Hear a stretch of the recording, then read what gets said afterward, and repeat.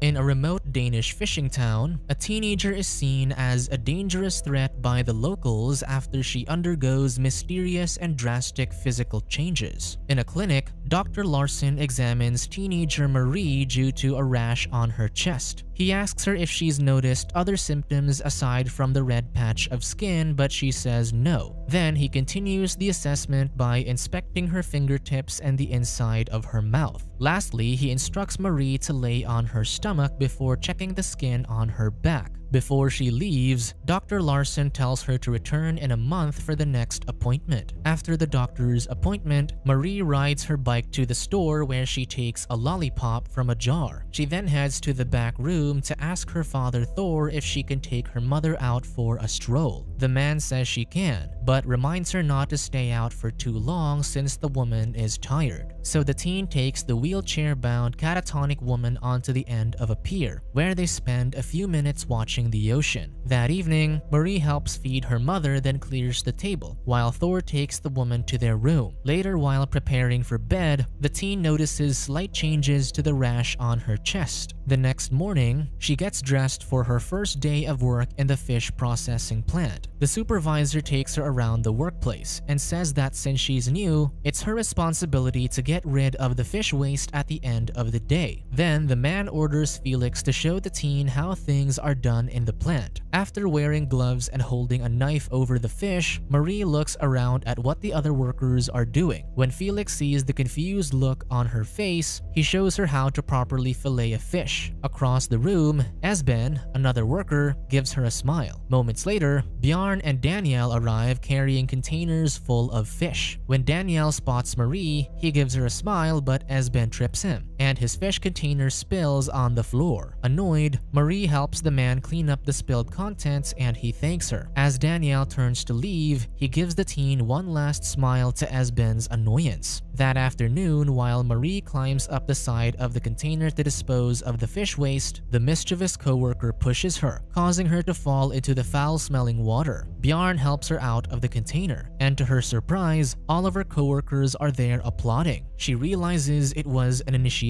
prank for newbies, and Jonna sprays her with a hose. Seconds later, the supervisor hands Marie her apron and knife. When she arrives at the house, she finds Dr. Larson speaking to her father. The teen sees Thor slide a brown envelope over to the physician, who places it in his briefcase. Thor explains that her mother's injection marks are inflamed, which is why he called the doctor. While the men tend to the woman, Marie sees her mother's eyes fixated on Dr. Larson's bag. She takes this as a sign to grab the brown envelope which the teen does. In her room, she takes out the envelope's contents and finds medical reports and photos showing incision-like slash wounds on several lifeless men's bodies. Suddenly, her father calls her downstairs to help with her mother, so she hides the envelope under the bed. Later, the teen curiously watches Thor injecting medication into her mother's arm. That evening, Marie hears noise coming from the bathroom. However, when she peeks inside, she sees Thor shaving long, coarse hair from her mother's back. That night, the teen dreams of a clothless woman covered in blood snarling animalistically. The next morning, she sees Esben glaring at her from across the room. Then Daniel arrives, and the supervisor tells her to help the man unload the truck outside. When they finish, Daniel introduces himself to the teen and offers her a cigarette. Suddenly, Bjorn returns to the truck interrupting their conversation. Later in the break room, Esben pesters Marie with questions, despite the teen making it clear that she doesn't want to speak to him. However, he makes a rude remark about her mother, prompting Marie to throw her glass in his direction. The object misses the man by inches and shatters on the wall behind him. When a woman asks what happened, Felix says Esben broke his glass, so the woman tells him to clean it up. While the irate man sweeps the shards off the floor, the teen gives Felix a grateful smile. Later, Marie and Felix hang outside, where he offers her illegal substances and asks how her mom is doing. After work, while the teen is all alone in the locker room, two masked men attack her. They force her down to her knees, and one of them threatens to violate her with something underneath his apron. As the frightened teen struggles, a vein appears on her neck, and the man reveals that it's actually just a fish under the apron, but still forces Marie to kiss it. The men remove their masks, and she sees that it was Bjorn and Esben who continue to laugh at her as they leave.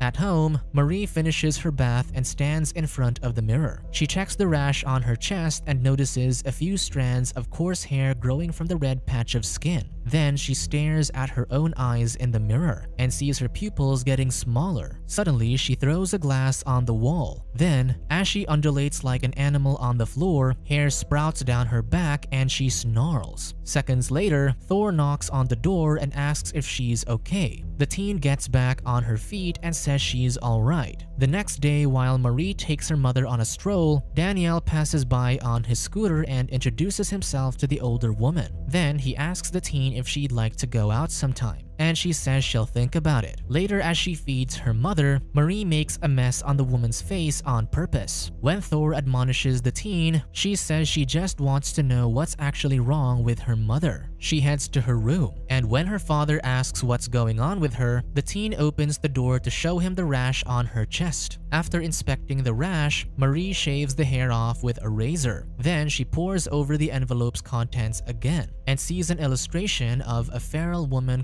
covered in hair. She also finds a picture of a rusty boat. Moments later, she sees Dr. Larson arrive outside their house. The teen eavesdrops on the doctor and her father's conversation, who says that Marie has all the symptoms his wife had. When the physician asks if he's told the others, Thor says no. Eventually, she joins the two men, and her father says the doctor is there to speak to her about her illness. Dr. Larson explains that if she has the same condition her mother does, she'll likely grow more body hair and experience emotional changes, such as shorter tempers and aggressiveness. He thinks she should take the same medication, but Marie refuses then leaves the house. She heads to the boat in the picture, and in the lower level finds deep scratches underneath the wooden trap door. That night, she visits Felix to ask him if he knows who owns the boat, and he says some Russians did. However, when she asks if her mother was ever on the boat, the man's expression changes and all he says is that her mother was beautiful, but people were afraid of her, the same way they're now afraid of Marie. Then Felix takes her to a bar where they drunkenly dance as Esben and Daniel observe. Minutes later at the bar, Marie tells Daniel that she's turning into a monster and that she'd like to sleep with someone before it happens. She leads him to a dark corner of the bar where they begin making out. Soon, the intoxicated pair are stumbling on the beach and end up inside an abandoned bunker near the water. As they begin to make love, Daniel runs his hand over her back and feels the coarse hair. His surprised reaction offends her, so the teen tells him to leave. However, she changes her mind and they make love. During the deed, more hair sprouts down her back, and while in the throes of passion, Marie's eyes turn yellow. Hours later, when Marie returns home and lays in bed, Thor and Dr. Larson enter her room and hold her down. The father tells the physician to hurry up and inject the sedative-like medication into his daughter. Suddenly, the mother pounces on Dr. Larson and tackles him to the floor before biting his neck until he perishes. Minutes later, the father and daughter bury the man's body in a shallow grave in the front yard. Then Marie bathes the catatonic woman who has trouble keeping herself in a seated position. Frustrated, the teen lays her head on the edge of the tub. The woman has a brief moment of lucidity and touches her daughter's head gently. Meanwhile, Thor places grass over the dirt to properly conceal the fresh grave. When he looks up, he sees his wife and daughter by the window watching him. He enters the house and tells Marie to go to bed. The teen asks if the Russians did something to her mother, prompting her to kill them, and if Thor also had to dispose of their bodies to protect his wife. Defeated and knowing there's no sense keeping secrets from Marie, the man nods. The next day, Ib, Bjarn, and Jonna drop by the house to ask Thor if he's seen Dr. Larson who's been reported missing. Thor lies and says the last time he saw the doctor was a week ago. However, they have a hard time believing his claim, since the physician's wife told them Dr. Larson was headed to his house yesterday. The trio seem to be aware of Thor's wife's history, so they politely demand that they be allowed to examine her. After assessing the woman's body for excess hair and checking her fingertips, Bjarn inspects her gums. The man is startled when she lets out a cough, and his reaction causes Marie to crack a smile. Furious, Bjarn calls her out and reveals that he's been keeping an eye on her as well. Soon, the teen returns to work at the fish processing plant, where her co-workers glare at her. That afternoon when she arrives home, she sees the front door ajar. Marie searches the house for her mother and finally finds the woman lifelessly submerged in the bathtub. Minutes later, Thor arrives, and when he sees his distraught daughter, realizes that something's wrong. Marie hears her father wail in anguish from the bathroom and sobs silently. Days later, as the hearse drives off, Thor and his daughter share a somber embrace. Then, the father spots Bjarn watching them from a distance. Before the funeral service, the bearded man approaches the grieving husband and offers his condolences. Because Thor thinks he might be responsible for his wife's death, he initially refuses to shake his hand. Inside the church, Marie notices that her fingertips look swollen, with bloody skin around her nails. After the funeral, the attendees convene for a light meal and coffee. When the teen looks around the room and sees some guests seemingly in a jolly mood, she serves the coffee herself, making sure they can all see her fingertips. Panicked, Thor realizes what his daughter is doing, so he grabs her and tells her to go home. Later at dinner, Marie decides to antagonize her father further by chewing on her glass, unfazed by the blood pouring out of her mouth. The next day, she sees that her fingertips are still red and swollen. As she's about to leave for work, she looks in the mirror and touches the hair that's grown on her forehead. When Thor sees his daughter put her coat on, he discourages her from leaving, explaining that he won't be able to protect her if she decides to go out into the world looking the way she does. However, despite her father's warning, the teen leaves. After she changes into her work clothes in the locker room, she looks in a mirror and sees the coarse hair on the side of her neck. At her workstation, everyone around the room continues glaring at her, except for Daniel who gives her a smile. That evening, she opens her locker, but finds that someone placed fish inside it. She cleans it up, then walks out of the building to her bike. Suddenly, a rock narrowly misses her, and when she turns around, sees several men on motorcycles pursuing her. Marie runs away and heads towards Felix's house. She begs him to let her in, but he doesn't answer. However, when she looks into the house through the window, sees him standing in the dark actively refusing to help her. Enraged, the teen snarls at the man. She runs down a dark road while Esben chases her on his scooter. When he loses sight of the teen, he stops to look around. Suddenly, Marie jumps out of the tall grass and pounces on the man, then ends his life by tearing at his throat with her teeth. Eventually, she hides in the abandoned bunker by the beach. Soon, Daniel finds her and says he'll get them a boat so they can sail away together. Despite the man's orders to stay in the bunker and await his return, Marie decides to go back to her house to pack some of her belongings for the trip. In a backpack, she places some clothes, the brown envelope, and a framed picture of her mother. Thor enters her bedroom,